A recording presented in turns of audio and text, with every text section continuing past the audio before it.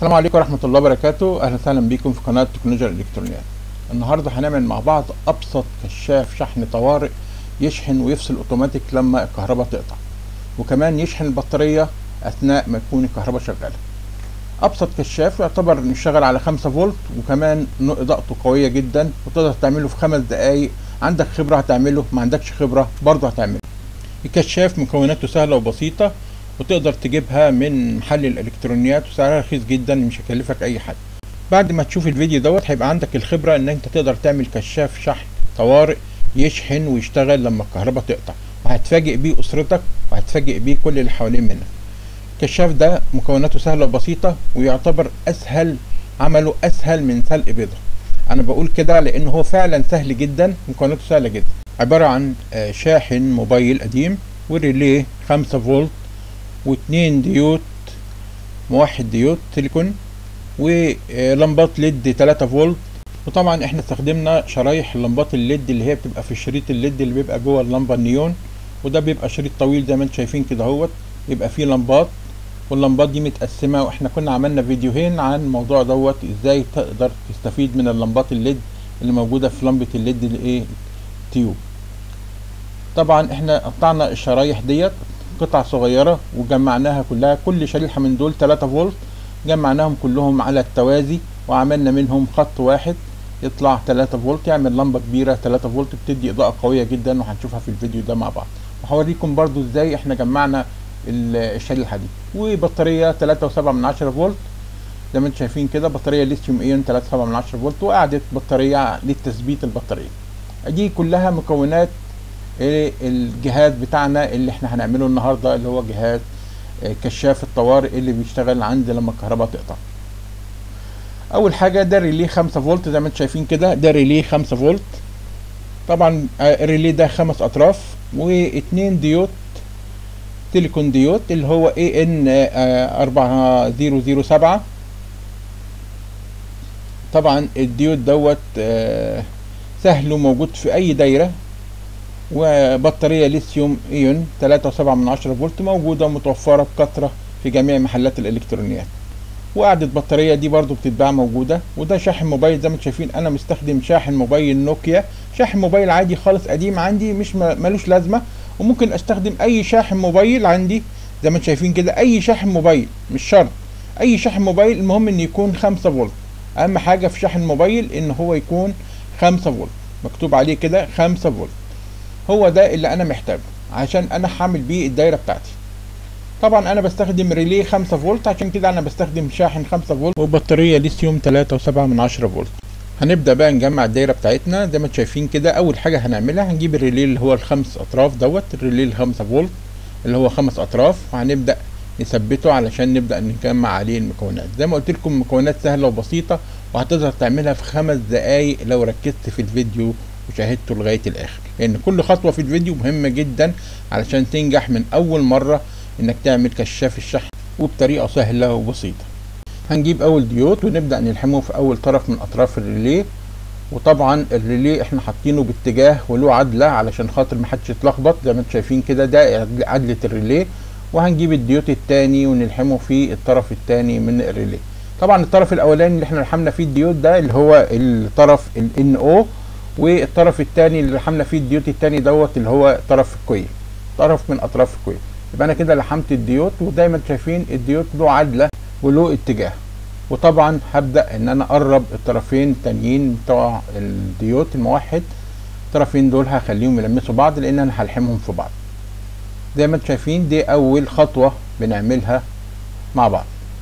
بعد كده أهوت هنبدأ نجيب الأزير ونلحم الطرفين دول زي ما انت شايف كده نلحم الطرفين التانيين دول مع بعض نخليهم في نقطة واحدة لأن دول هنوصل عليهم الكابل بتاع كهرباء شاحن الموبايل الموجب وزي ما أنتم شايفين كده أنا زي ما قلت لكم أنا استخدمت شاحن 5 فولت وهبدأ أجيب كده الطرفين بتوعه. عندي طرف الأبيض ده السالب والأحمر الموجب هبدأ ألحم الطرف الأحمر في المشترك بتاع الديود.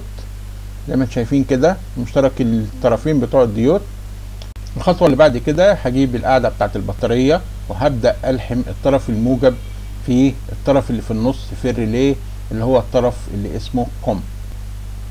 تمام؟ يبقى أنا كده لحمت طرف البطارية في الطرف اللي في الوسط في الريلي خلي بالكم من العدلة اللي أنا ظابط بينها الريلي علشان الاتجاهات للي ما عندوش خبرة.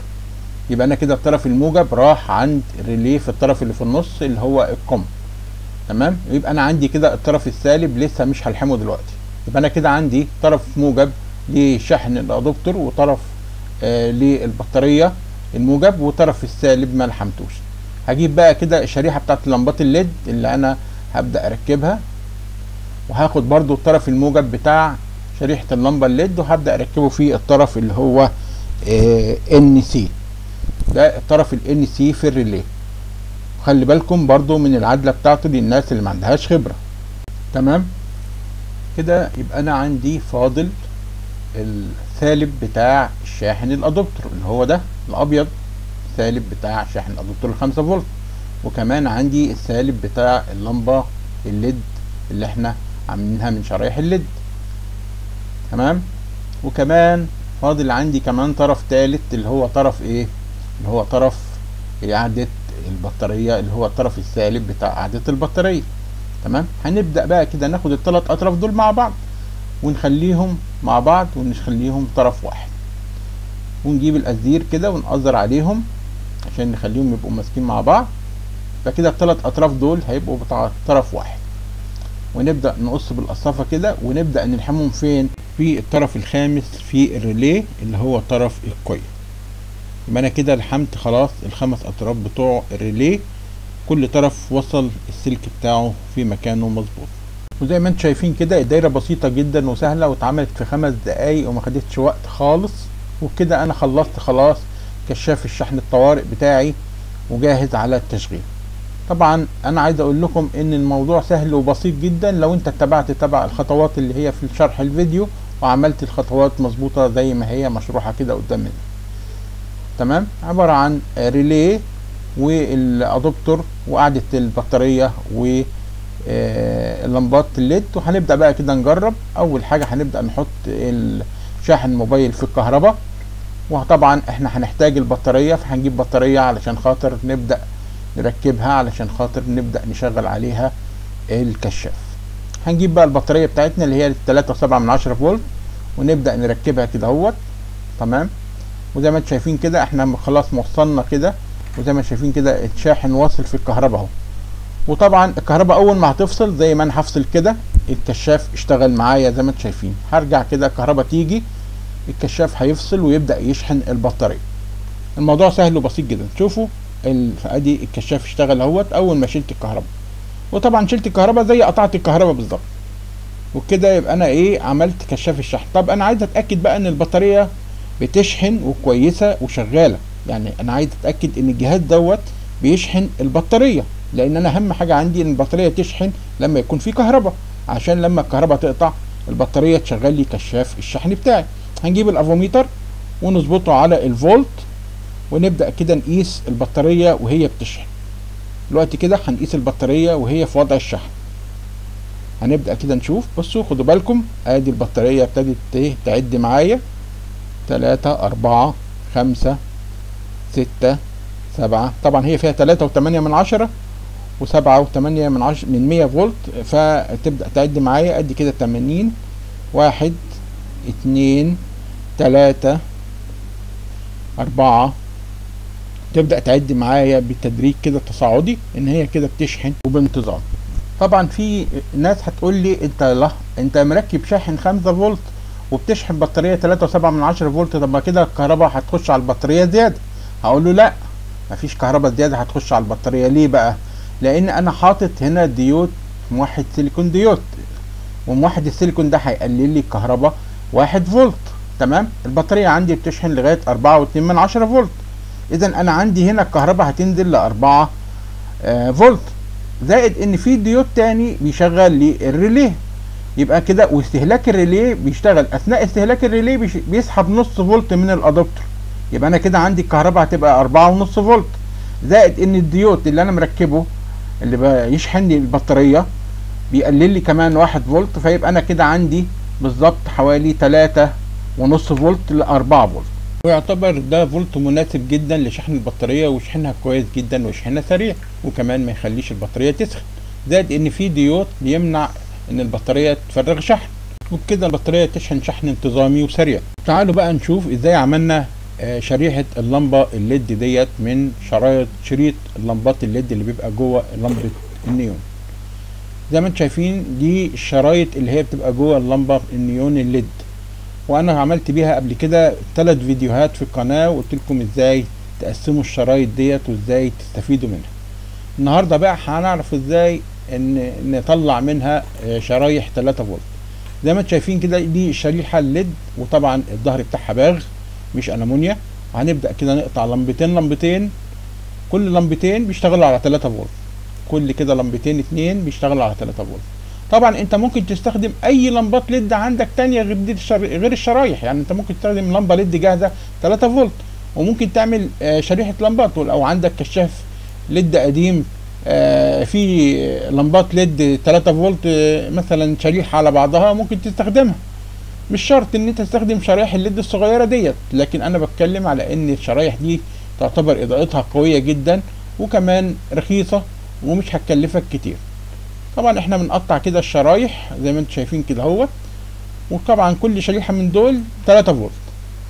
طبعا إحنا بنقطع كل الشرايح اللمبات كده أهوت وبنبدأ كده كل لمبة بيبقى على طرفين بتوعها من الجانبين في آه، بوهية كده بنقشرها بالمفك من اليمين ومن الشمال. هوريكم دلوقتي كده اهوت زي ما إحنا بنعمل كده. هتبصوا كده على الشريحة هتلاقوا فيه آه النحاسة اللي هي ب- بتاعة لحام الموجب والسالب. طبعا كل لمبة من اللمبات دي ليها اتجاه موجب والاتجاه سالب. وانت لما بتيجي تعمل الشرايح دي لازم تظبط الاتجاه السالب كله مع بعض والاتجاه الموجب كله مع بعض وطبعا بتوصلهم كلهم توازي زي ما إحنا عاملينهم كده. خدوا بالكم بقى كده أنا شلت الكهرباء خلاص كأن الكهرباء قطعت. الكشاف اشتغل معايا أهوت.